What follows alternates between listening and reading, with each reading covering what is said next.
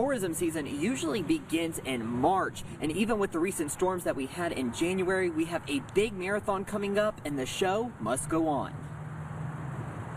January storms devastated parts of the city, so could the tourism industry suffer in 2017? Rashelle Beasley, the director of the Albany Convention and Visitors Bureau, says no. I don't think so, just because of the fact that all of our hotels are intact, all of our attractions are intact, with the exception of the museum. That being the Albany Museum of Art, which suffered major damage during the January 2nd windstorm but the museum is still offering some of its activities thanks to a space provided by the Thronateeska Heritage Center. We all kind of come together in the hospitality world and just try to help each other and make things work. Although the storm didn't directly hit Albany's tourist attractions, it did take a toll on the upcoming Snickers Marathon. The storm really made an impact on people thinking that our marathon wouldn't continue, but it is. But with fewer participants, around 1,200 runners are expected to take to the streets of Albany in March, nearly 400 fewer than last year. Beasley says parts of the course did see some damage from the storms.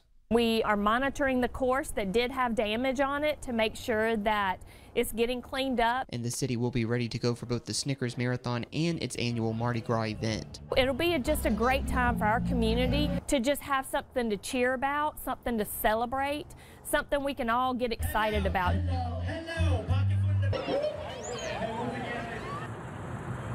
And both events are scheduled for the first weekend in March. For more information, we have the link for you at WALB.com. We're live in downtown Albany this morning. I'm Zach Logan, WALB News 10.